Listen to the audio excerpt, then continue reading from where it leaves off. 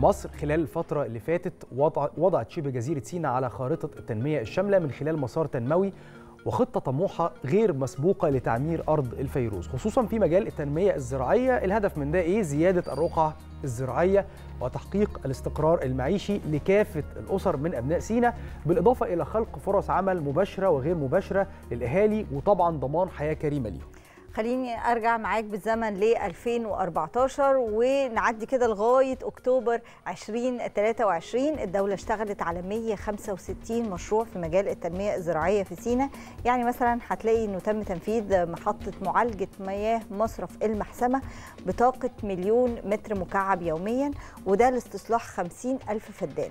برضو تم تنفيذ محطة بحر البقر بطاقة أكثر من 5.5 مليون متر مكعب يوميا وده لاستصلاح 456 ألف فدان.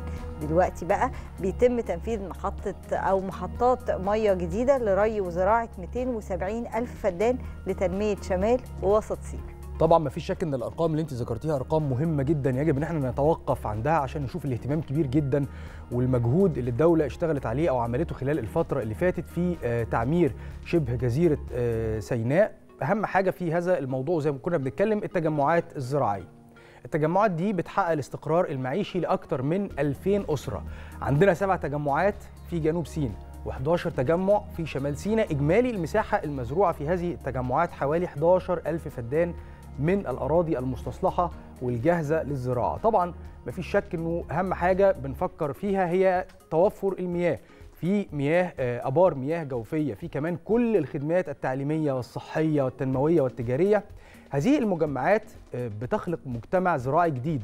في سيناء ونظم زراعية حديثة بتحقق أعلى إنتاجية وفي نفس الوقت بتحافظ على الموارد الطبيعية الموجودة في أرض الفيروز. النهارده هنستكمل مع حضراتكم الكلام عن التنمية في سيناء وخصوصا التنمية الزراعية وكمان مشاريع التطوير اللي بتحصل في أرض الفيروز.